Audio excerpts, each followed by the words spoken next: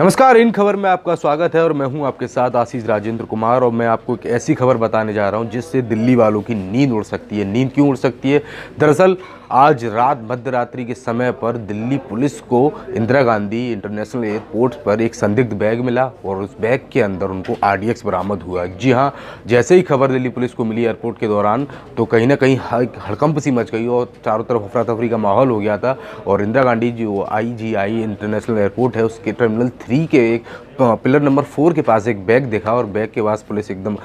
सदके में आई। उसके बाद उन्होंने छानबीन शुरू कर दी और लगभग रात एक बजे ये वाक्य हुआ और उसके बाद जैसे ही छानबीन शुरू की तो पुलिस और सुरक्षा एजेंसियों को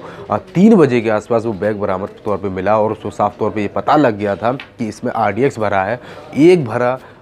एक बैग भरा आरडीएक्स आप सोच सकते हैं कितनी बड़ी तादाद में दिल्ली को दहलाने की कोशिश की जा सकती है, या देख कि किस तरीके से जो साजिश रची जा रही थी दिल्ली को दहलाने की, वो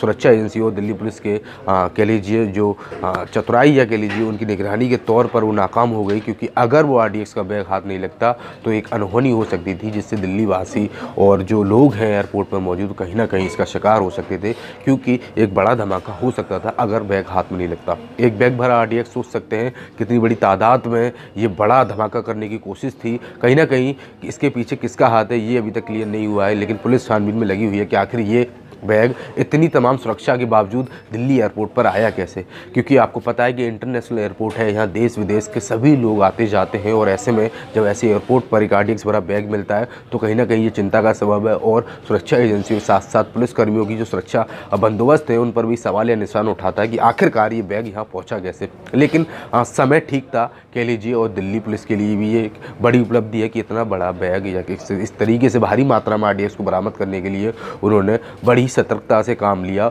और उसमें कामयाबी हासिल की। हालाँकि अभी तक ये पूरी तरीके से मालूम नहीं हुआ है कि इस बैग के पीछे या यहाँ तक आर डी पहुँचाने के पीछे किसका हाथ है और इसका कौन जिम्मा लेगा, क्योंकि काफ़ी लंबे समय से चर्चा चल रही है कि आतंकी दिल्ली में घुसपैठ कर रहे हैं और कई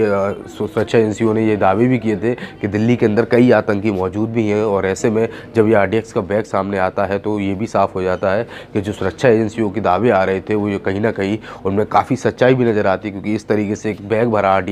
दिल्ली एयरपोर्ट, जो कि अंतर्राष्ट्रीय एयरपोर्ट है, वहाँ मिलता है। तो ये साफ़ ज़ाहिर हो जाता है कि आतंकियों के मंसूबे वो ठीक नहीं है और वो दिल्ली को दहलाने की पूरी कोशिश कर रहे हैं। लेकिन सुरक्षा एजेंसी और दिल्ली पुलिस की कह लीजिए, वाहवाही की बदौलत ही ये बड़ा एक साजिश का जो एक कारनामा होने वाला था, उसको दिल्ली पुलिस और सुरक्षा एजेंसियों ने रोक दिया है और अब कहीं ना कहीं दिल्ली पुलिस और सतर्क होगी, क्योंकि इस तरीके से जब आर का बैग मिलता है तो कई ऐसे और इलाके हैं दिल्ली में यहाँ हाई अलर्ट पहले, दिवाली से पहले जारी किया गया था और वहाँ जो आतंकी है, उन्हें निशाना बना सकते हैं। तो ऐसे में दिल्ली पुलिस और सुरक्षा एजेंसी इस पूरे मामले की छानबीन में लगी है कि क्या कहीं किसी और इलाके में ऐसे आरडीएक्स के बैग या और कोई बारूद जिससे दिल्ली को दहलाने की कोशिश की जा सके मौजूद है या नहीं।